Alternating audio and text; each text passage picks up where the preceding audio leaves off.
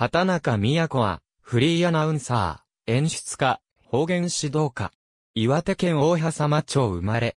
岩手県立森岡第一高等学校卒業後、児童劇団時代から出入りしていた岩手放送に1962年、アナウンサーとして入社。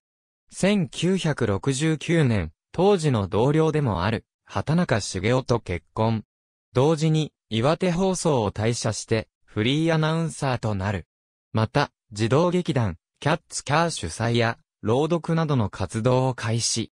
また、岩手の方言のスペシャリストとして、岩手県を舞台にした、テレビドラマや映画において、方言指導を担当する。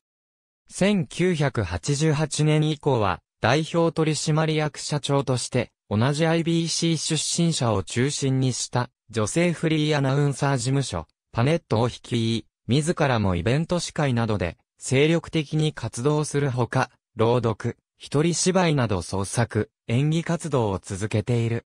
また、毎年暮れに開催される舞台、森岡分子劇でも、自ら重要キャストを演じ、さらに他県出身の各局アナウンサーに、森岡弁を指導している。